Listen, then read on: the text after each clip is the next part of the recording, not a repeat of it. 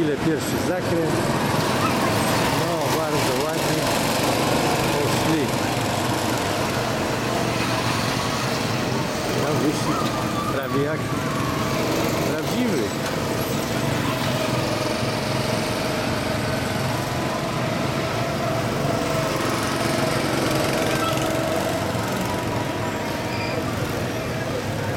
Na razie widzę, że Jurek prowadzi. Zbliża się do drugiego zakrętu. Jest pierwszy.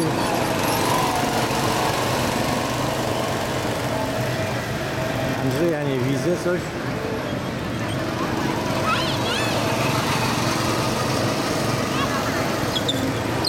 Same maluchy tu jadą.